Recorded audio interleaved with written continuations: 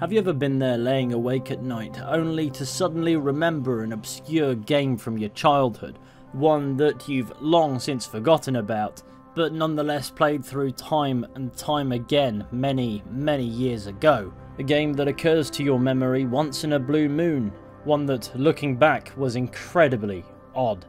For me, that game was Dinotopia The Sunstone Odyssey, a game that's released for the Nintendo GameCube and original Xbox around two decades ago, based on a series of books I never read. And the premise of this game is you're on an island stranded with sapient dinosaurs, and your job as a ginger haired Scottish man armed with a hammer is, in simple terms, to batter said dinosaurs. Now, I've never played this game with an understanding of what makes a game good, so out of curiosity I googled Dinotopia the Sunstone Odyssey to see what others actually thought of it, and according to Wikipedia it received mixed to negative reviews upon its release.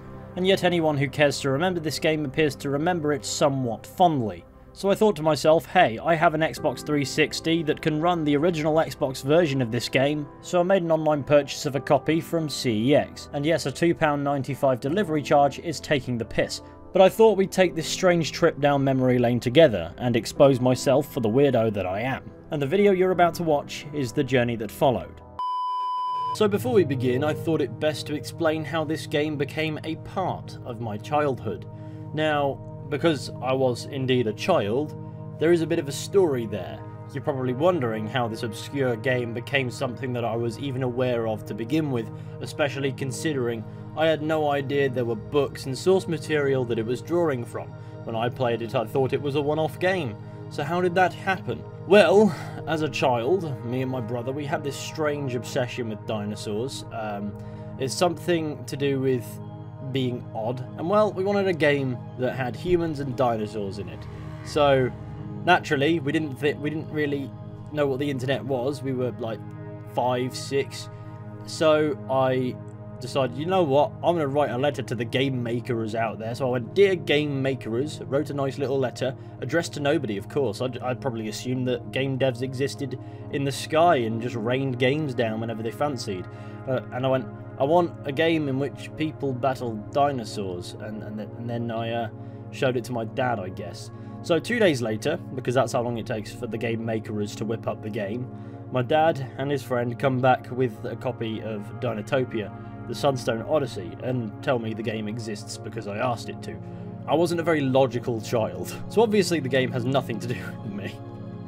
But at the time I was tricked into thinking it was, therefore I felt obligated to play it to excess, and that's exactly what I did. And here it is, the game that haunts my dreams. In Dinotopia, the Sunstone Odyssey, we play as a man named Drake Gemini, who along with his brother Jacob was stranded on the island 10 years ago. Their dad was also with them, but he's no longer with us as he was eaten by a dinosaur, which is peak. And the only reason we know any of that is because this game has the biggest exposition dump known to man. I was so sad to hear about your father. Jonas was a good friend of mine. Thanks for your concern, Mr. Paul. This stupid island's been nothing but trouble since we were stranded here ten years ago. Crippled in a wreck, and then, just because some blind dinosaur lets him ride around on her. You know, he was doing her a favour as much as she was doing for him. And then he felt like Dinotopia some big Anyway, Castabollocks here is teaching us forbidden combat moves, because, as he puts it, we've just faced a very traumatic event in our lives and we're more likely to do something reckless that might get us hurt, therefore we need to know how to kill things effectively, because that won't backfire at all. Mate, so what he does is he gives us a mallet head for our staff, transforming it into a magical weapon known as a hammer. And then we whack some dummies as the frame rate figures out whether or not this is a game or a Microsoft PowerPoint presentation, something we keep up for a good minute, until Caster Testicles here is satisfied. And you'll know when he is because he'll give you far too much knowledge of gameplay mechanics and then ask you to fetch his rocks. As for Jacob, Drake's angry brother with short hair and a beard, well he's off to join the Outsiders, the genocidal maniacs who want to kill the dinosaurs. That's how he's going to use the skills Castor Pollux has taught him. You should be careful too though. I don't trust those outsiders. We might not see eye to eye on this, but you are my brother, and I still care about you. Thanks. Goodbye. Well, thanks for your help, Mr. Pollux. I could use your help with one last thing, though. It seems I've misplaced my favorite glass rocks somewhere deep in the cave. If you find them for me, I will give you some Hobie peppers to take with you. I understand if you need to get going, though. Now this game has an awful lot of fetch quest style content, and by misplaced, Castor Pollux means he simply put his marbles in a different room of his house. One that just so happens to have a feral raptor in it for some reason. But since Pollux has taught us how to utilise this hammer, Pollux's territorial household pet is simply no match for us.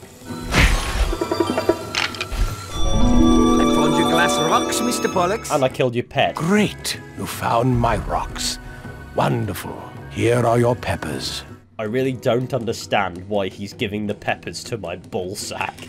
Use them well now. This game's commitment to award-winning dialogue simply never ends.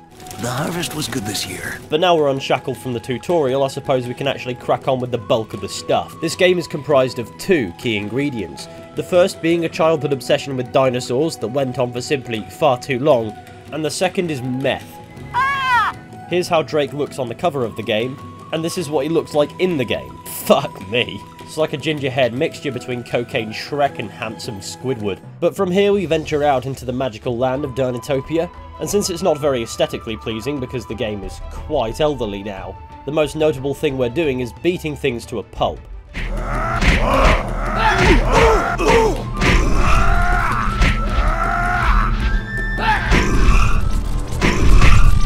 No need to thank me, sir. I took pleasure in it. In combat, there are a variety of different enemy archetypes to face, from simple bandits all the way to cavemen for some reason.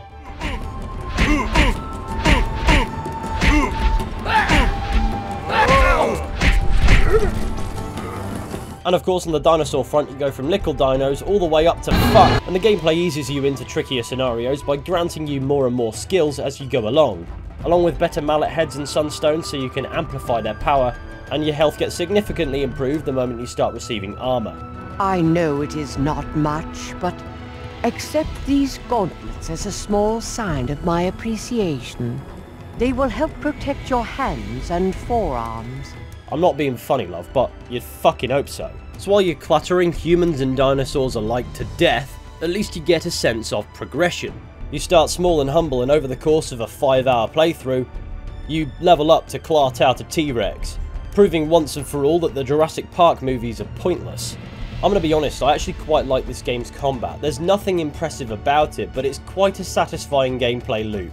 And it's not challenging either, so you can switch off and enjoy the other things this game has to offer if it indeed offers anything else. I mean, there's a touch of light platforming, which may or may not do your head in, but I can only really think of a handful of instances where it happens. The vast majority of the gameplay consists of moving from one area to the next and fighting whichever enemies happen to be there. Sometimes their being present makes sense, and other times they're simply there because you need an obstacle.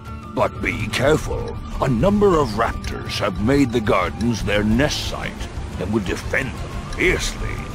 Because of course.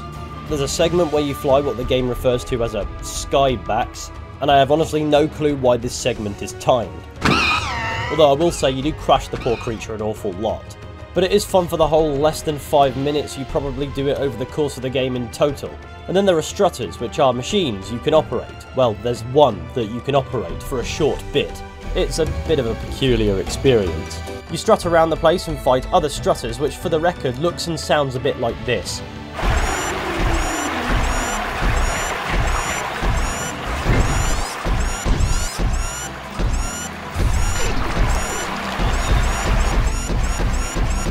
Although you do fight big dinosaurs with it as well, and they're actually more threatening than other strutters. So, use the guns.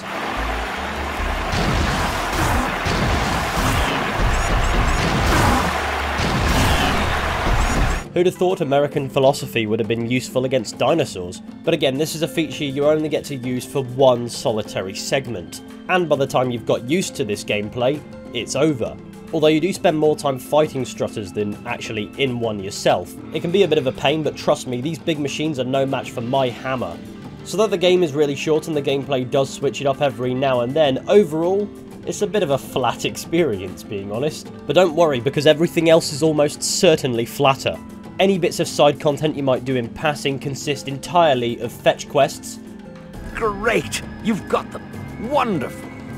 Here are your Hobie peppers. Now I can get these peeled and into the pies. Although this geezer's funny, I like him. Yes, there's still fundamental fetch missions, but his dialogue, consistency, and appearance are entertaining. He asks you to get some berry so he can dye an item of clothing. The next time you meet him, he has hot pink pants.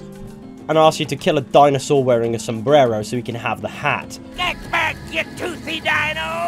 As you mooch through the world, there's plenty of side content that you can do that's attached to a particular mission. So, if you get to the end of the mission and there's still content to do, the game will tell you. You can move on and accept that you'll never do it, or you can go back and indeed complete it, if you so wish to do so. But if I've managed to prove something so far, it's that you're not exactly missing something either way, Thank goodness for a guardian like you. most of the time. But yeah, let's talk a bit about narrative. Though a story isn't absent, this game certainly belongs to the category of titles in which the story is simply there to justify you doing gameplay. Drake is on a mission to become a guardian of Dinotopia, and though for gameplay purposes that turns us into a sledgehammer wielding maniac, the reality is he must become sound of mind, body, and spirit. So he makes himself known to the sages of these virtues. I am the sage of the body. My favourite is the Sage of the Body. He's like a sloth mixed with a dinosaur, whose only article of clothing is a hat, and he trains us up with the aid of his more human friend, who's an absolute combat nutter.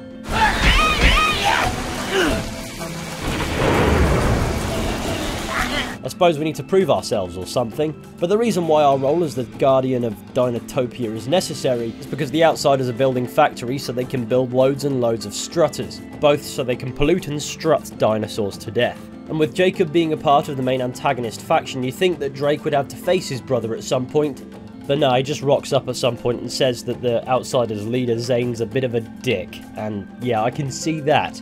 He makes us clobber a sumo wrestler to death for some reason, There. I've beaten you best. Now release my brother. Now! Grab him! No! Zane! Let him go! He fought fairly! He won! Life isn't fair, Jacob! Get rid of him now! And before you ask, at no point in this story does a single character's mouth move. There! Now I'll untie you and. But Drake gets stronger and stronger and finally becomes ready to confront Zane and his outsider friends before they can, I guess, pollute this island. Plot twist. Dad isn't dead after all, he's just been a prisoner of Zane's. He appears to have survived being eaten by a dinosaur fairly unscathed. He was swallowed whole and not digested somehow. I knew I could count on you to come to my rescue. Doesn't change anything narratively, but it's the thought that counts. I love you very much, son. Goodbye. For now. So the plot concludes with Drake bombing Zane's factory.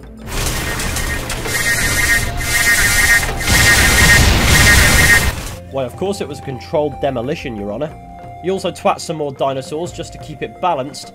Face Zane's awkward scorpion strutter thing. It can be exploited quite easily, to be fair.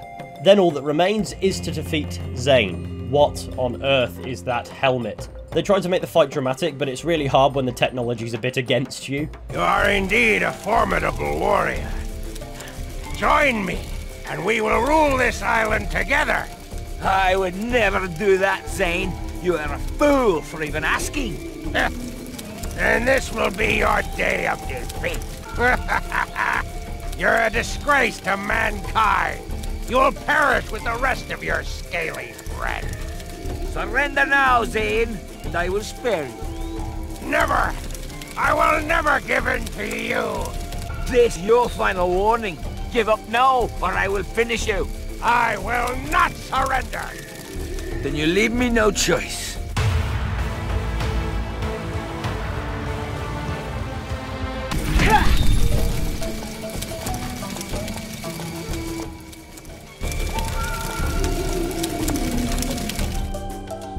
Yeah, that's quite literally it. With a bit of off-ramp dialogue to cap it off, and then some credits, because who doesn't like credits, the game's over. And there you have it, the game that's haunted my dreams for simply far, far too long. Dinotopia, The Sunstone Odyssey. A game that with the power of critical thought I can now see is a bit crap, yeah. But I always enjoyed playing through it as a kid, and I didn't not enjoy playing through it for this video. So I like to refer to this as tastefully shit. It tells a coming of age story that only makes sense thanks to the dumps of exposition we get. It looks aesthetically worn out because of its age, which is 100% fine, and its gameplay was probably nothing to scream about back in 2004. But there's a certain heart to these obscure old games that you just don't get these days. Even when that old game is pretty crap, you know it exists because somewhere somebody wanted to make it. Not necessarily for the sake of sales, I can't imagine this one being a big commercial success considering everybody I speak to about it has never heard of it, but rather just to create something fun and enjoyable. There was no need for breathtaking visuals and complex mechanics as nice as they are. The game just had to work, so there's an element of charm to this otherwise forgotten game, and that's probably about all it has going for it. But I'm curious as to if anybody watching this video knows about this game as well. There's always a chance it'll reach the circles of people who have, because, well, they exist. But I'd also like to know who hadn't seen this game until this video. But anyway, that was a strange trip down memory lane. Thank you all for watching today's video, I really hope that you've enjoyed it. It's definitely a bit out there as far as game choice is concerned compared to my usual programming, so I understand that this video is probably not going to be one of my more popular ones and I didn't spend too much time nor too much money, outside of postage anyway, making it, so job's are good. But if you did enjoy today's video, be sure to go ahead and leave a like if you're new, maybe hit subscribe, share the channel with all your friends and all that wonderful stuff, that would be massively appreciated. And with any luck, I'll be seeing you all very soon with another video at some point, so until next time, please take care and goodbye. And if you simply refuse to take care, well, I'll be sending Castor Pollux round to have a word with your bollocks. And you don't want that, so behave yourself.